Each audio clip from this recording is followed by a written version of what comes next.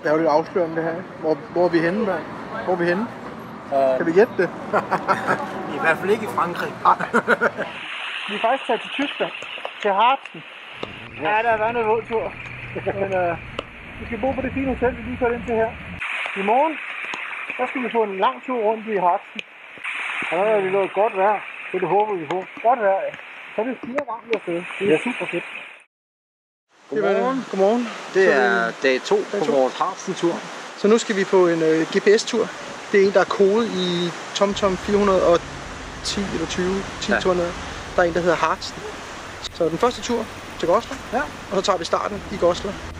Og vi ser, om vi korter den af. Den siger, det tager 9 timer. Så det, Det er lidt vi, langt, vi ikke? ser lige ad, hvor- hvordan det går. Nu er vi kørt til Goslar. Jeps. Vi Ses ses senere. Kæft, hvor er det lækkert, at solen skinner, mand. Uhuh.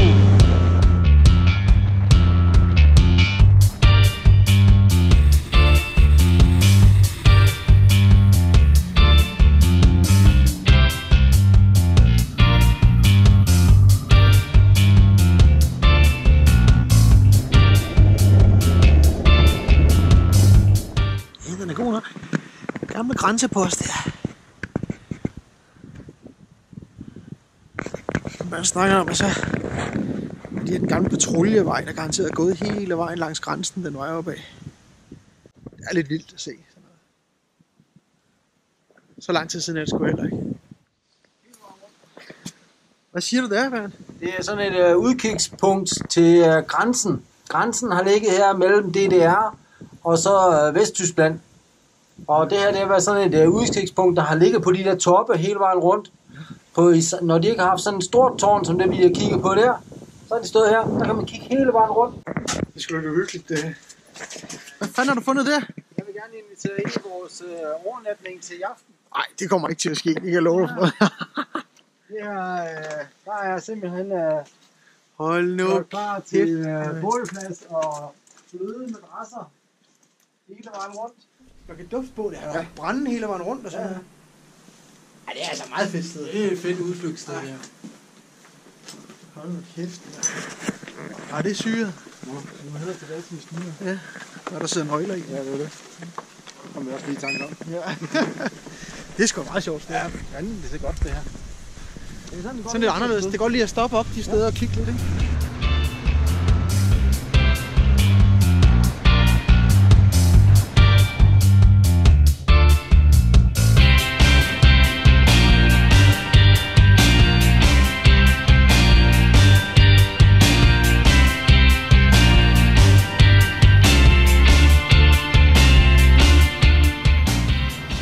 Bum, mand.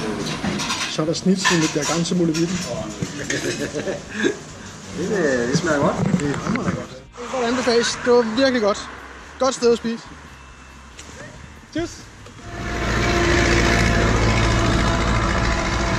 Ja, så er der nogle halvgamle traktorer.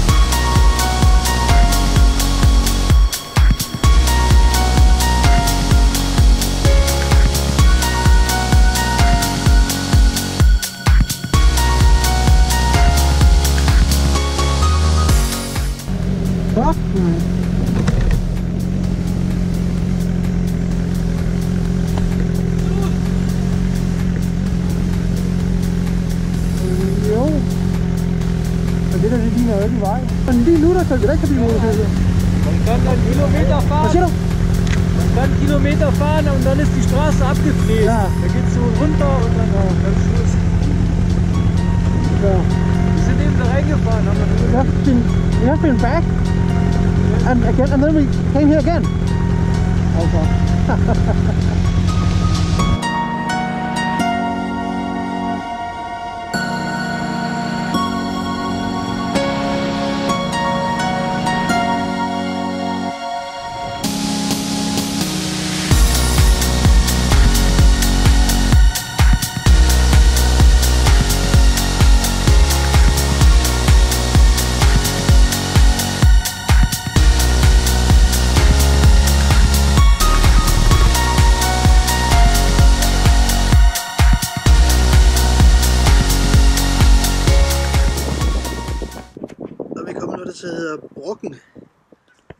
Kan ses derude i horisonten.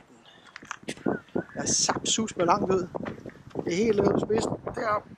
Bum, der skal ligge det tårn. Vi er lige kommet til det der bikersted, der ligger heroppe bag. Skal prøve at se de her. Når vi kommer ind, kan vi se de der bikes, der var. Det er altså, det er lidt vildt. Der er godt nok mange. Men det blæser godt i øjeblikket. Kommer de og henter dig, Bernd? Det var ikke Det er fordi, du kan forstærke. Not.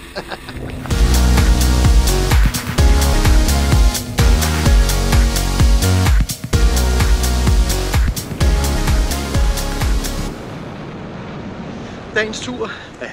Det var en GPS-tur.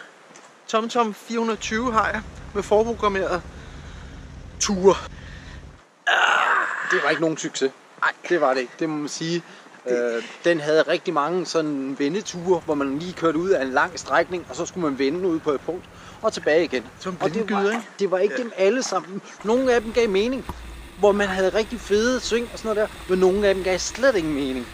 Ja, og så nummer to er, at den lokkede os ud på vandrestier og sådan. Ja. Og det, det duer ikke. Så øh, det, det tager vi. Så i morgen, der finder vi en by, og så planlægger vi, så siger, der kører vi hen, Ja. og så mest snået vej. Så det er det, vi gør i morgen. Ja.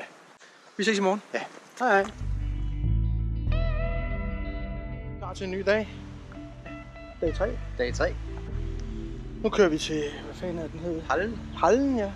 Mest snået veje på GPS'en. Så må vi 100, se. 138 km. Ja. Det er over til.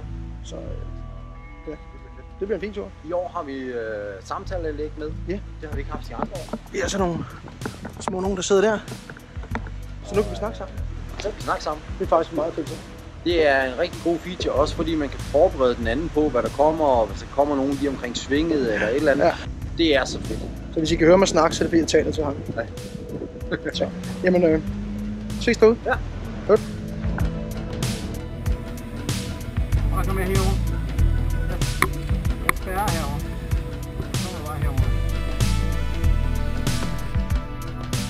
Det mere den vej ind, gør den det? Den der inde. Ja. Okay. Fem den vej, siger han.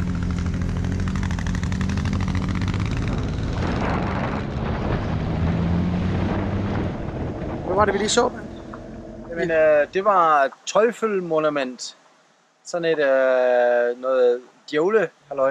Ja, det er bare sådan nogle sten, der kommer Ja, ud i sådan horisonten der. ja, ja, ja. Lige pludselig. Ja, ja. Det skal vi lige ind og se, hvad? Ja. Var det ikke herinde bag? Jo, det er herovre bag. Lad os prøve at gå ind og kigge.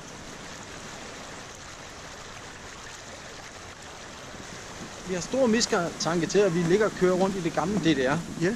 Fordi at bygninger har ændret fuldstændig karakter. Der er meget mere nedslidte områder og sådan noget der. De gamle, industri, gamle huse ja. og sådan ting, vi kører igennem. Det virkede mere forfalden. Foto, Den vej. den vej. Og det ser godt nok vildt ud, mand. Hold nu kæft, mand. Så kan man gå derover. Ja, så kan man vandre derop eller sådan noget, ikke? Hold da kæft.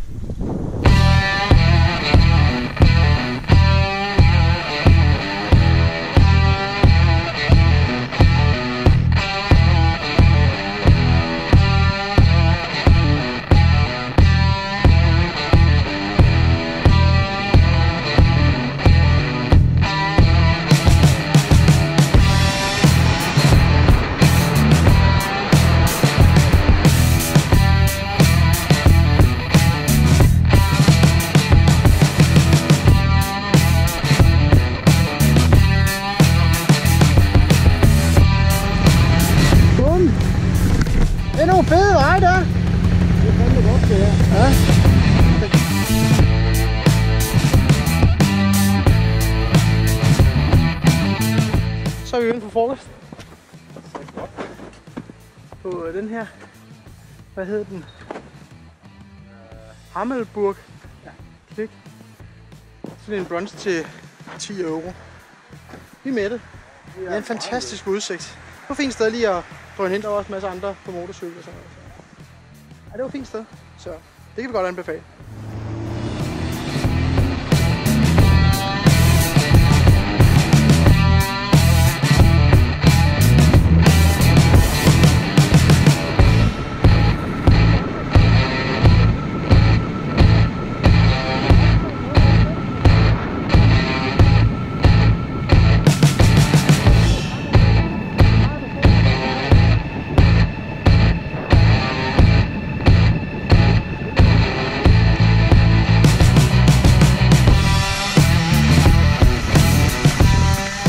Hvad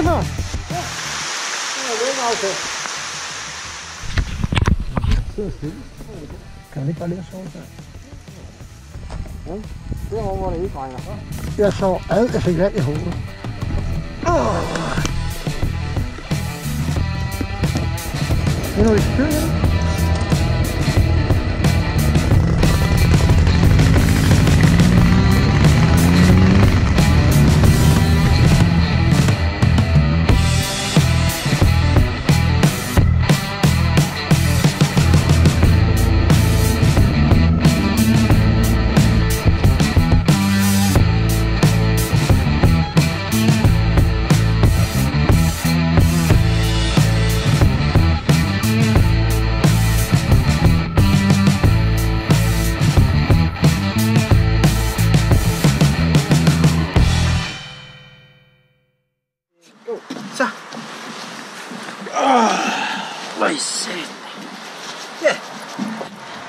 Tyskland. Næsten Tyskland, vi har Ja. været igennem nu.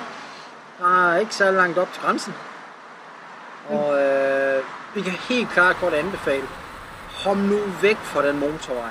Når I kører motorcykel hernede i Tyskland, der er fantastiske veje. Man må køre 100 km i timen på de små veje, der ligger derude. Og det er det, er det fedeste landskab at køre i. Det er skide flot. Pisseflot. Mega flot. Det er godt nok et gammelt sted, det her. Hold da kæft, mand. kæmpe gårde og gamle landsbyer, man kører Virkelig igennem. gamle. Ja. Altså, jeg føler, at man er med i sådan en gammel film med en anden Plus, slags. ja, men plus det der med, at asfalten den er bare superb, og kanon sving og det hele derude. Så, Det er super godt.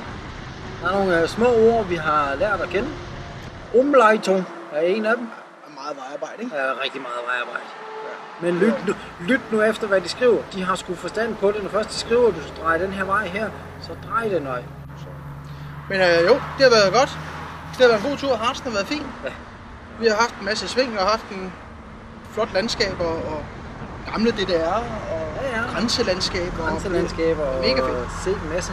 Lært noget historie. Set Ja, noget ja. historie. Se Pisse en historie, som Ja. var en del af vores barndom. Ja, ja. Så gamle er vi ved at være. Det er det. Jamen, vi vil tage det sidste stykke på motorvejen hjem. Så men det har været en fed tur. Ja. Tak Så for må den gang. vi gå i tænkeboks, hvad næste års tur skal Så være. må vi se, hvad næste år bliver. Ja. Tak for den gang. Super.